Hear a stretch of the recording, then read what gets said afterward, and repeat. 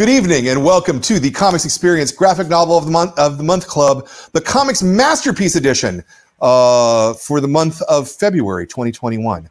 Um, uh, I I am bringing you this book this month, and you know we if you're watching the other Comic Masterpiece shows, you know we're talking about books like Swamp Thing and Preacher and Sandman, Understanding Comics, Kingdom Come, right? Like those are all huge, massive names in comics. Um, tonight, I'm bringing you a book which does not have that same name, but I think, truly think, is in the same pantheon. Um, I I love this comic so much. Uh, it's Knights of the Dinner Table, uh, and our creative team. It's it's mostly done by Jolly Blackburn, um, who is in the the top right corner there. Uh, and this is the the Knights of the Dinner Table development team around them uh, uh, Brian Jelke, Barbara Blackburn, and David Kenzer.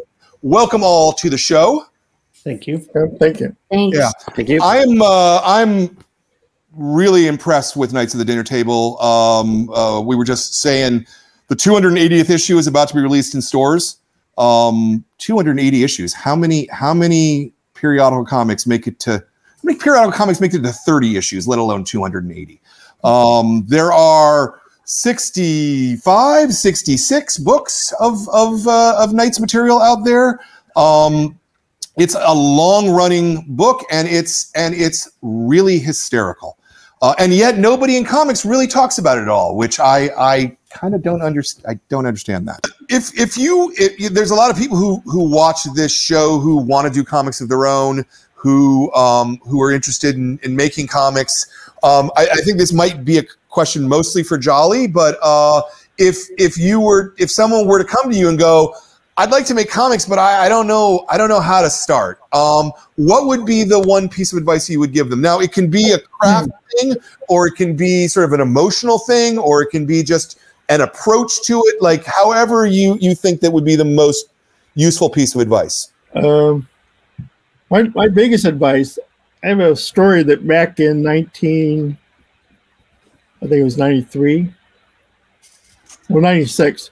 I had my best friend. I was going to do Knights at the Dinner Table as a monthly comic. And that's all I talked about for a long time. And um, we went out drinking at the locker bar one night.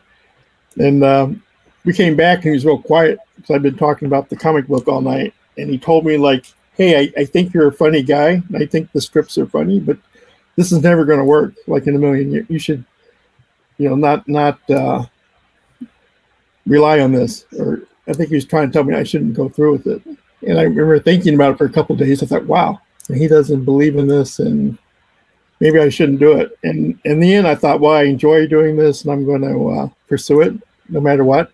Even if I have 50 readers, that'll be rewarding. And um, I so I think my advice would be if you believe in something, you have a passion for it, just just do it. You know, pursue it. Maybe you'll fail. Maybe you'll fall on your face.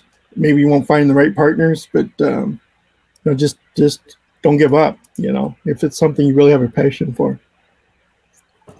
Yeah, I love that. I love that answer. That's that's a great answer. Uh, cool. I, I think we're going to end it there. That's that's a that's a that's a reasonable place to end it. I I really want to thank you guys for taking the time to talk to me and and sort of walk me through the whole process. I uh, I I really want to say I sincerely believe this is one of the best comics that's being published on a regular basis. Cool. Jolly, I I am so impressed with the fact that you have been able to do this for 280 issues. I it, it it's the only comic that I consistently am excited to read every month because I know that the quality is going to be consistent, right? Like I, you know, I like Batman, I like Spider-Man, but I don't like every issue of Batman, right? You know, but I like every issue of, of Knights of the Dinner Table, which is kind of crazy to say, you know, um, just how consistent and how long my relationship with you as a reader has been. So you are great, man. You really are. And and I I wish more people in comics recognize that. I uh, I feel as though I feel as though you guys deserve an Eisner Award. I mean, you you're one of the the the best guys who making comics today. Uh, I, I think just sometimes people look at the art and they go, "Oh, uh, it's it's Yeah. just art," you know. But it's funny and it's got heart and it's about people and it's about relationships and it's it's a great comic. So, sincerely, thank you for making it. Well, th- thank you. During during the pandemic, there's not a lot of feedback, and uh, I like to go to cons to get kind of, you know, you kind of get your confidence uh, boosted by interacting with fans. So this has been good. I needed.